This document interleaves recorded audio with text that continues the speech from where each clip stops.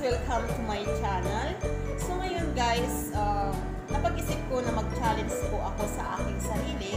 So ang challenge ko ay No Rice Challenge. So alam niyo na, eto, medyo mataba-taba na po tayo. So need po nating mag-challenge sa uh, ating sarili o aking sarili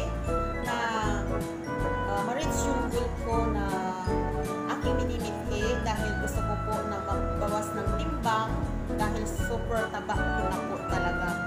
So, kahit napagod na pagod po ako sa aking trabaho, pero nararamdaman ko talaga na dumudubli yung katawan ko kasi nga nagluluto po ako. So, yun. So, ngayon, ang challenge ko ay uh, ito, no rice challenge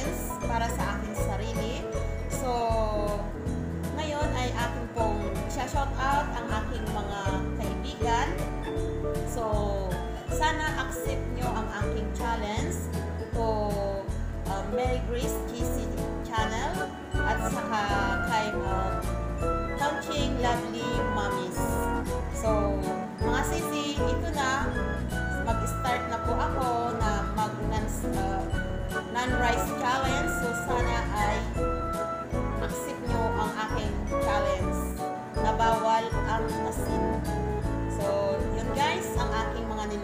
ay aking pong ibabahagi sa inyo ang aking uh, mga pagkain sa araw-araw.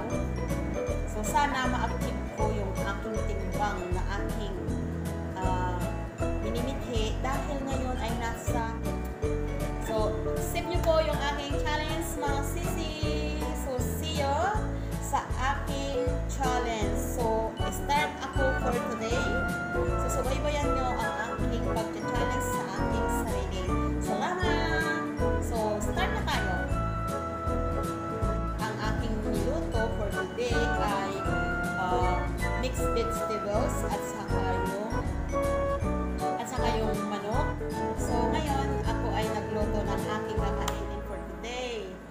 Ang niluto ko ay Tadaan! Ito siya. So, ayan. Ayan po siya. At saka ito. So, ang gagawin natin, mamarinate ko lang ito without salt. So, ito, hindi ko yan lalagyan ng salt. Kasi nga, nagdadayon tayo. So, lagyan ko siya ng black pepper.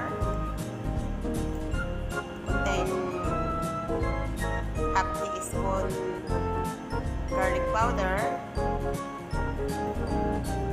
At saka, yung mga hindi nakakaalam tungkol dito sa powder na ito. Ito ay mabisa.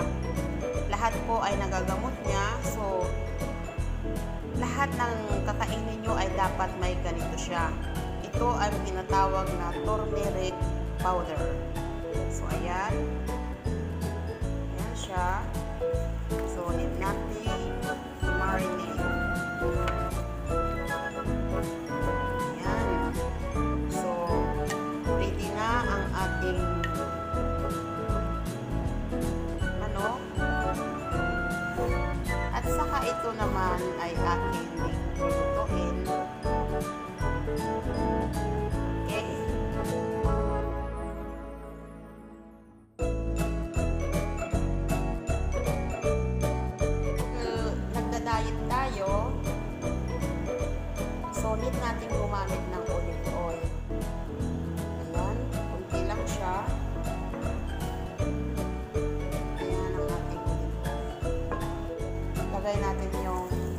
bawang.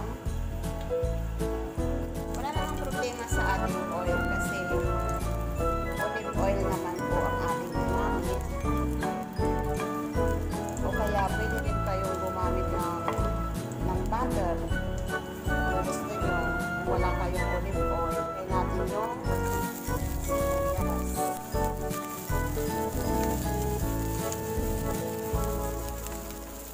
So dahil ah, ang purpose ay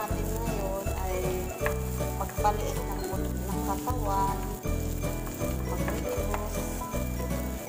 So, need natin na hindi lagyan ng ating pagkain ng salt. Iwas-iwas sa salt.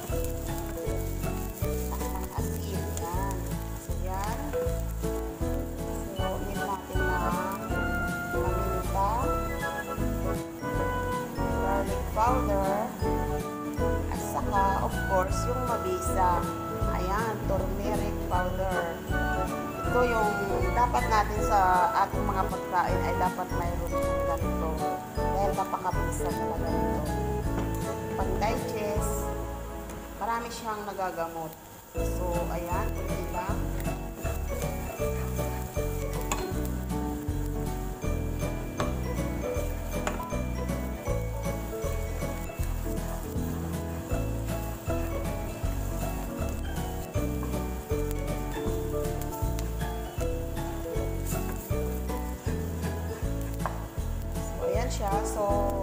ng sinabi ko, wala tayong salt. Iwas-iwas sa asin. Yung ating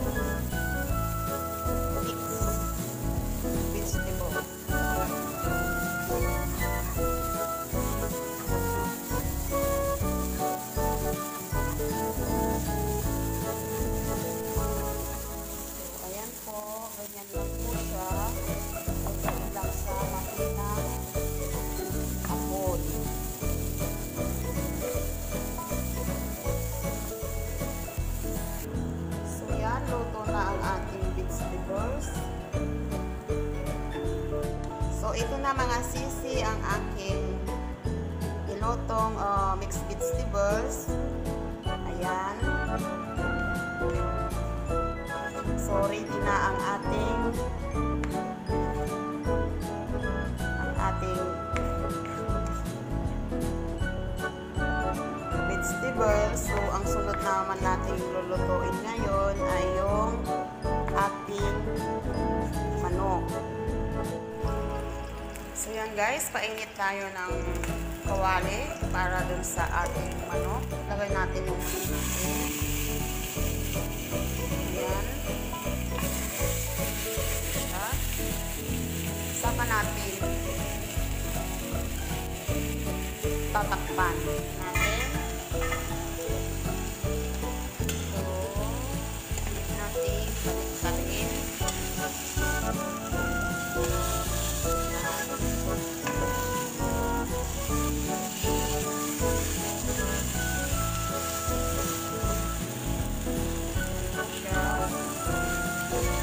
Makinang apoy lamang. Eh kung may turbo kayo, mas maganda. Gamitin yung turbo. So ito guys, yung ating manok. So ito ay walang asin.